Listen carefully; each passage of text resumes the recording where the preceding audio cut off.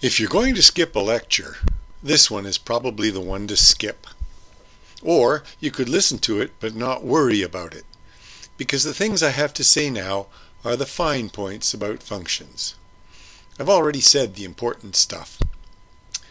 If you're still listening, functions can be classified as partial or total. A partial function is one that, for some domain elements, produces no result and a total function is one that always produces at least one result. Another way functions can be classified is as deterministic or non-deterministic. A deterministic function always produces at most one result, and a non-deterministic function produces more than one result for some domain elements. And here is an example function that is both total and non-deterministic. For each n in NAT, it produces two results, n and n plus 1.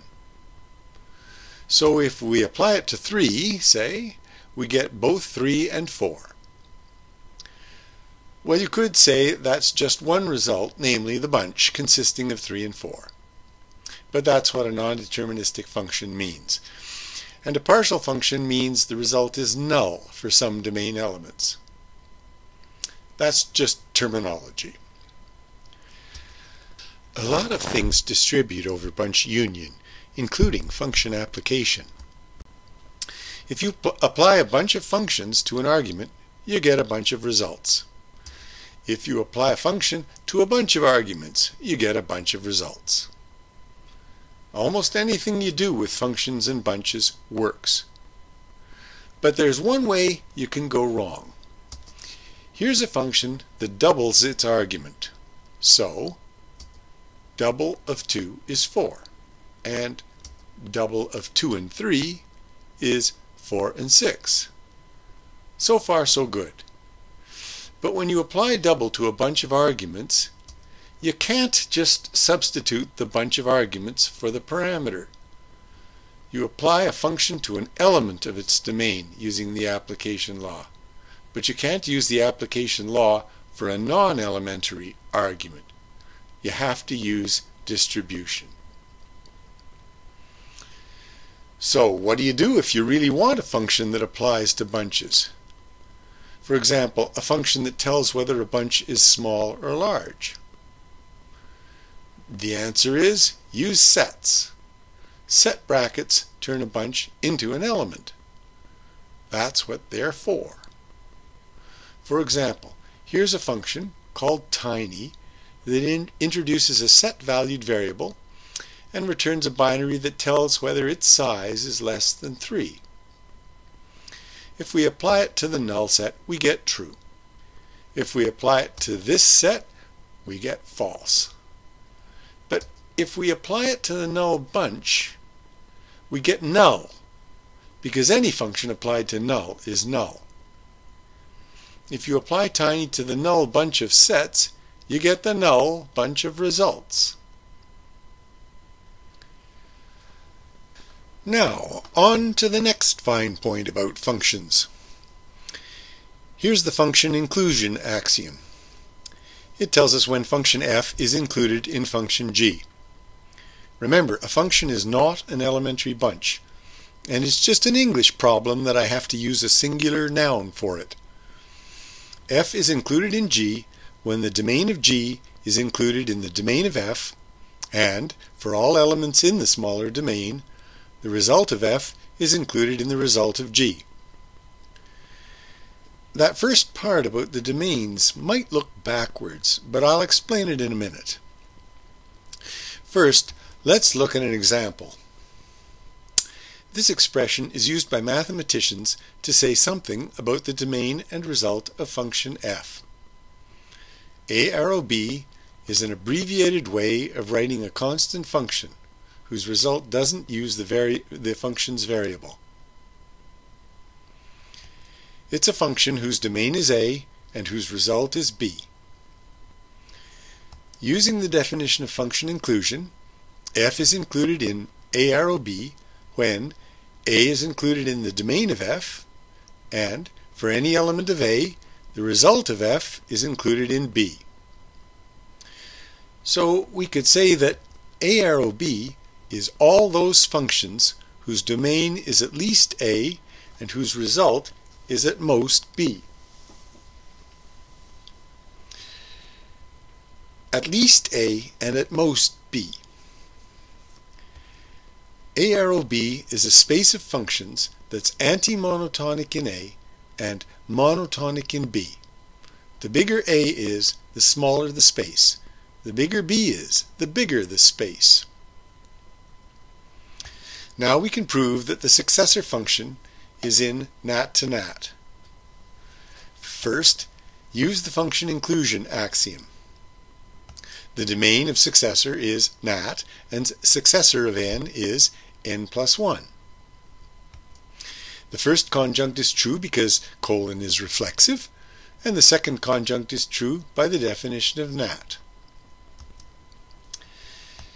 And in exactly the same way that we proved successor is in nat to nat, we can prove that even is in int to bin, and max is in xrat to xrat to xrat. Okay, so here's a theorem about function inclusion. If A is in B, and F maps things in B to things in C, and C is in D, then F maps things in A, which are in B, to things in C, which are in D. It says you can decrease the domain and increase the range. It's just saying again that arrow is anti-monotonic on its left and monotonic on its right. So it says that successor maps things in 0 to 10 to integers. Here's a function whose variable is f and whose domain is the space of functions that map things in 0 to 10 to integers. It's a function that applies to functions. Logicians call it a higher order function. We need the domain of any argument to be at least 0 to 10 because it applies its argument to everything in 0 to 10. It doesn't matter if the domain of the argument is bigger than that, the other domain elements just won't be used. And we need the result of any argument to be in the integers because it tests the result for evenness. It doesn't matter if the result of an argument is never negative as long as it isn't a fraction or a character or something else that can't be tested for evenness. So we can apply this higher order function to successor. Well, there's another fine point in the textbook about this, but I'm just explaining why arrow is anti-monotonic on its left and monotonic on its right. The result is this, which says the first 10 successors are even, which is false. So that was function inclusion, and this is function equality. It says two functions are equal if their domains are equal and their results are equal. Not surprising. We just saw an example where a function had a function-valued parameter. So a function g can be applied to a function f. If function f is not in the domain of function g, then gf is not g applied to f, but g composed with f. And the result of the composition is a new function. Looking first at the result, applying gf to an argument x means applying f and then applying g to the result. It looks like an associative law, doesn't it? So the domain of gf is those things you can apply f to that result in things you can apply g to. For example, even is a function that applies to numbers, not to functions, so successor is not in the domain of even. So even successor is a composition. Its domain is the naturals. And when you apply even successor to 3, You first apply successor and get 4, and then you apply even and get true. Operators and functions are about the same thing, so operators can be composed the same way as functions can, and they can be mixed too. Here we compose minus and successor. Since minus doesn't apply to successor, we apply successor to 3 and then apply minus to the result. Here we compose not with even. Not even, applied to 3, gives true. Next we have something that really doesn't matter at all. I just think it's cute. It's called Polish notation, and you may have seen it in a compiler course. Suppose x and y are number variables. Suppose f and g are functions of one number variable. And suppose h is a function of two number variables. Polish notation means writing compositions and applications without parentheses, like this. The rules of precedence say you bracket to the left, like this. The rules of composition say that because h doesn't apply to f, we instead apply f to x and h to the result. And because h composed with f of x doesn't apply to g, instead we apply g to y and hfx to the result. Dropping one superfluous pair of brackets, we get h applied to two arguments, namely f of x and g of y. Even though we didn't write any brackets to start with, it all sorts itself out and comes out right.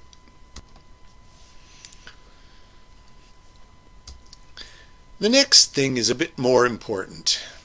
If m is an index of list L, then this function can be applied to m, and what you get is Lm. So the function applied to m is the same as the list indexed with m. The function and the list are playing the same role here.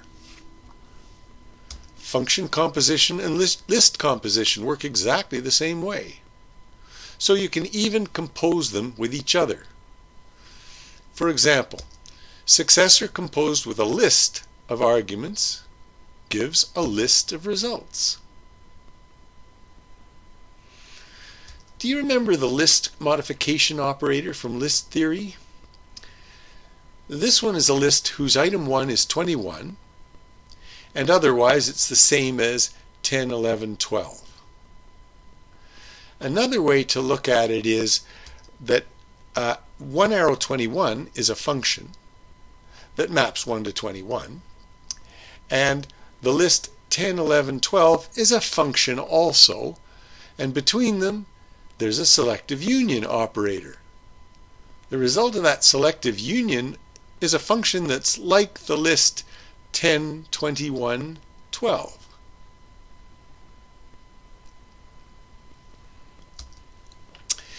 And we can even apply a quantifier to a list. This is the sum of the list.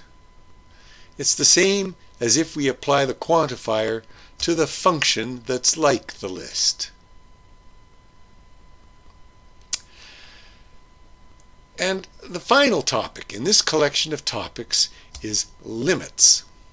If we have a function whose domain includes nat and whose range is in rat, then f0, f1, f2, and so on is a sequence of rationals. Limit is an operator that applies to such a function. People sometimes say the limit of the sequence, rather than the limit of the function. And this is its axiom. It says that the limit is at least as large as the maximum of all the minimums for each starting point in the sequence. And symmetrically, the limit is at most the minimum of all the maximums. Well, I'm not going to try to explain that. Here, lim is applied to a function. But like with other, other quantifiers, I didn't write the scope brackets. The variable is n, and its domain is nat, but I didn't write the domain either. The body of the function is 1 over n plus 1, and as n becomes large, the result approaches 0. And indeed, 0 is the limit. This next example, minus 1 to the n, is one where traditional mathematics says there is no limit. And the axiom doesn't tell us what the limit is, but it does say that it lies between minus 1 and 1. And always the minimum is less than or equal to the limit, which is less than or equal to the maximum. Traditional mathematics use uh, texts use the words lim_inf and lim_sup instead of minimum and maximum. Well, this is a computing course, not a math course, so it's important that everything is formally defined, because formal definition is required for implementation on a computer. And I've defined everything formally with only one exception. I didn't define the real numbers formally yet but I didn't use them yet either. Here's the definition. The reals are the limits of all these functions. Actually, that's the extended reals. To get the reals, just chop off infinity and minus infinity. Let p be a predicate on the natural numbers. Then p0, p1, p2, and so on is a sequence of binary values. And here's the axiom for the limit of a predicate, or sequence of binary values. It's just like the previous axiom. If you remember that disjunction is the same as max, conjunction is the same as min, and implication is the same as less than or equal to. I think the easiest way to understand it is to look at the two implications separately. The first one says that lim p is true for some particular values of the non-local variables if there exists a point in the sequence such that ever after that point the predicate is true. If the sequence becomes true and stays true, then the limit is true. And the other implication can be written like this. It says, if the sequence becomes false and stays false, then the limit is false. Here's my example. The limit of 1 over n plus 1 was 0. But the limit of the binary sequence 1 over n plus 1 equals 0 is false because it's false all along. If you stuck with this lecture to the end, I bet you're feeling overwhelmed by all these details. But remember, I said they're not really so important. Anyway, that's the end of all the math that I need for the whole course. Starting next lecture, we look at programming and computation, and I think the math will make more sense when we're applying it to programming.